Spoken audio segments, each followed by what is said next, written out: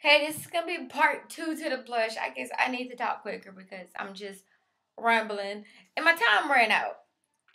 So those were pretty much all my MAC blushes there and a few of the NARS and I had two more from Makeup Forever and they're the little ones. They can double as an eyeshadow, so that's why they're in these little ones. But they're called powder blushes.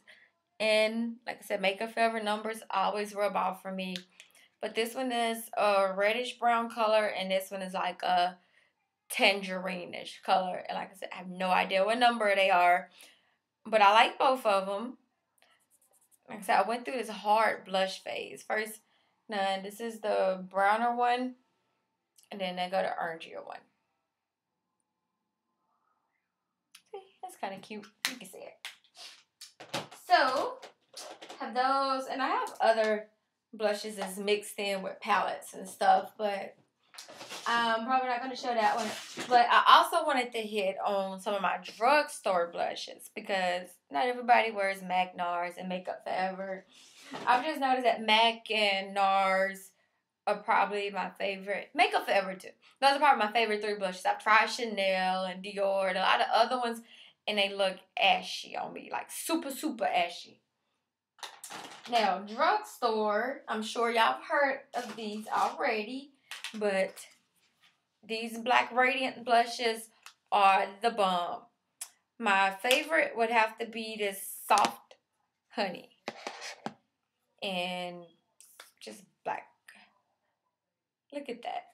It looks just, uh, but when you put it on, it has this beautiful, like, matte terracotta, and it goes with a glam up or glam down. I've used this one a whole lot.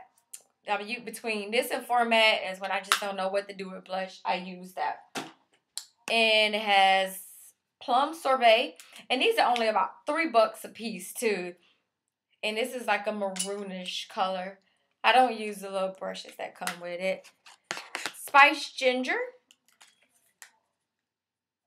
And that's the pinkier one. And it has the red one, which is on the same level as Exhibit A or what's the other one? The Merrily. Look at that. This then granted you better not wear no blush, but you can use it as an eyeshadow because it is pigmented. And like I said, it's drugstore. So this good finds. Walgreens, Walmarts. Um, a lot of them around my area don't have them, but if you have them in your area, definitely get them. And I like the Milani's. Those, the little ones, those are pretty good. And I think I have all of those. My favorite one is the Luminoso, I think it's called. Let's just pull out the whole drawer.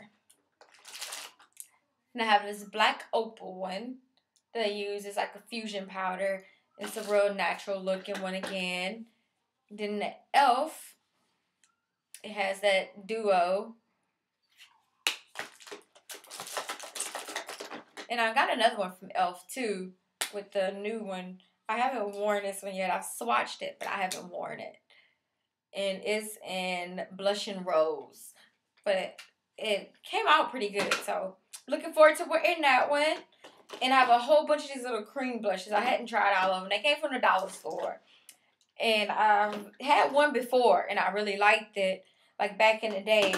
And then when I seen them at Dollar Tree, it's like a dollar. So I got every color of them. And this is a Revlon one. And Peachy Keen. And this one is really pretty. It's kind of shimmery. Not glittery, but shimmery. So got to be careful with it. But it's a really, it actually shows up as just like lightening up that. It's not really contouring or darkening. It's just lightening. It highlights it. And I have NYX and Pecan. And I have another NYX too. I just, it's probably in one of my other things. I have makeup kept in two places. I keep some in the bathroom and then some in my beauty room. And there's a lot of freaking blushes, I know. this is another of the Milani and Sunset Beach. Too cute. I have a few Wet and Wild. And e.l.f. CoverGirl. These are nice too from CoverGirl Queen. If you can get those bronzers, I really like those too. And I think that is it for blush. This is pretty much more bronzers now. So, part one of my collection. And I don't know if you see from another video, but I keep my makeup in these little things here. And they have 10 drawers on them. My boyfriend put it together, so it didn't seem like it was too hard to put together. They came from Office Depot and they were about 30 bucks, 30 something bucks a piece. I'm not sure if they still have them. They had them in pink and black when I went. They may have other colors or they may not. And this was probably in about two months ago, I guess, when I brought those. I don't know. I can't remember. But that is it. Oh, one more thing before I show y'all. With my hair, you probably noticed that I don't have on a wig, which is rare because I love my wigs.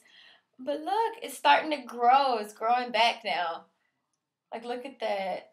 I was starting to stretch. You know, I like my shrinkage too, but like, look at it growing. See? Like, I can't get enough of it to stay down. But it's growing back. I did a cut in April, May. So I'm liking it. I don't know what I'm gonna do with it now. I want to get the tree braid weave in it, but I just gotta find somebody around here to do it. So thank y'all for watching. If you have any questions, just let me know. You know, I can do more swatches if you need to see colors, but hopefully this just gives you an idea of what you're looking for. If you're trying to find different blushes, just give you an idea of some of the good ones out there for women of color and women of non-color too because a lot of these blushes can be used on anybody.